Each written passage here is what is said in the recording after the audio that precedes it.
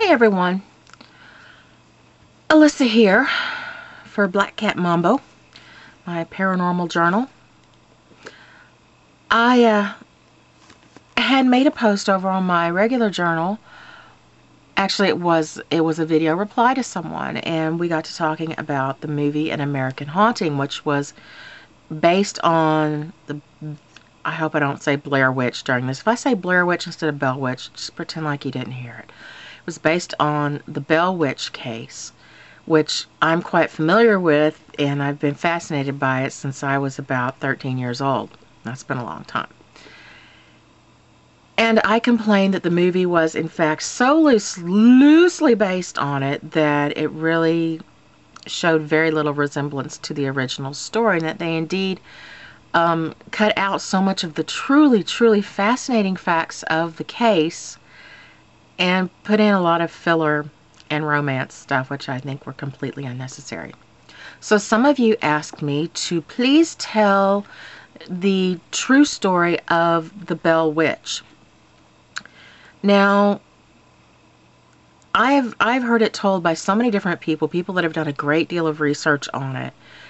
And the the one that I'm going to be telling you right now is truly a pared down version. There's not as much detail as you might get elsewhere. If you go look for books by, oh, I hope I get this name right. I can't remember his first name. I'll put it on the screen here. Fitzhugh is his last name, though. And he has done some fabulous research and done some uh, really good writing on the Bell Witch. It's become really seemingly his obsession. And I, at first I was going to put here um, an old Ghostly Talk radio show where they first discussed the Bell Witch, and it was around an hour long. Entertaining because I'm a part of that group and I love those guys. But I decided that my viewing public would probably rather that I talk about it personally instead of just uh, putting you off onto someone else. This is probably going to be a little bit of a long one, so why don't you just kick back and get comfortable and listen and I'm going to get my my cues and guidelines from this book which I've had forever. It's really ratty. Um, it's called Poltergeist a study in destructive destructive haunting I think. It's kind of messed up on the cover. By Colin Wilson and it's a wonderful book. I used to read this and get so freaked out. It doesn't really freak me out anymore. It's just interesting this is one I go back and read over and over, but there's a pretty pretty decent section in here about the Bell Witch, and I think this is actually where I first got my true education on the Bell Witch. I'm going to take my cues from this and probably add some of my, my own knowledge to it. In 1817, a farmer named John Bell lived with his family in Robertson County, Tennessee, with his wife Lucy and nine children back before they had TV and YouTube. One of these children, Betsy, was a girl of 12. At first, the disturbances were so slight that no one paid much attention. There was knocking and scratching sounds on the walls, which is pretty typical of a poltergeist case. That's usually how it starts. And for those that don't know, poltergeist is German for noisy spirit. Geist meaning ghost, polter, I guess meaning noisy. So it started with um, knockings and scraping noises and sounds like rats gnawing on the walls. As usual, nothing could be found that could account for any of the noises. They seemed to be mostly the kind of noises that would be made by animals and so didn't really cause a lot of excitement especially you know in 1817 in a farmhouse. You're gonna get that kind of stuff. An invisible dog seemed to be clawing on the floor sometimes and there were sounds of an invisible bird flapping against the ceiling and a few times even the sound of two chained up dogs viciously fighting with one another.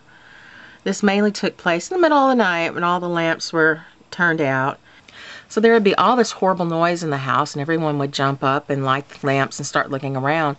But it, it tended to just immediately stop as soon as they lit the lamps. And it's been traditional that poltergeists really don't like to be seen doing whatever it is they're doing. So,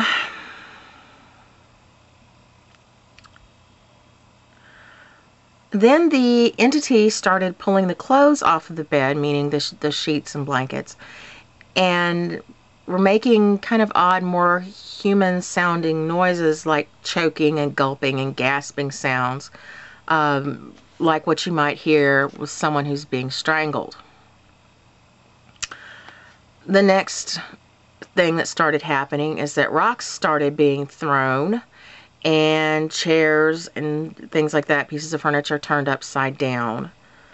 Slowly the poltergeist began to get into its stride and the girl Betsy seemed to be the main focus of this whole thing.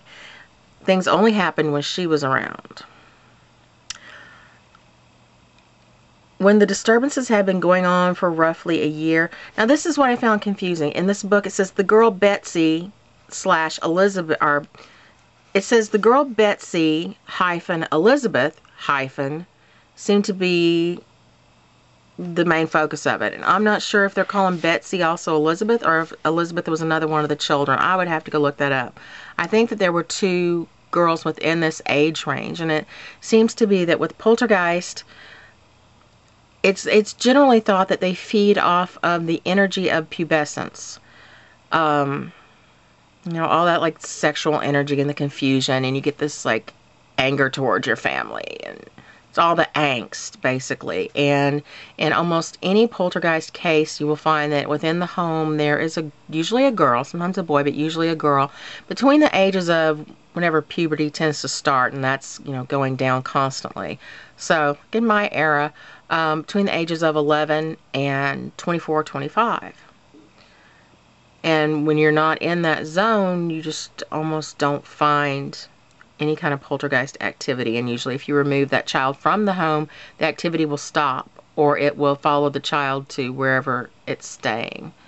Um, and it's hotly debated whether poltergeists are uh, like an id monster that the the young person uh, develops subconsciously, or if it's actually a, an elemental that is um, drawn in by the energy that a teenager puts off, maybe kind of feeds on it, which would be more of what I would actually believe.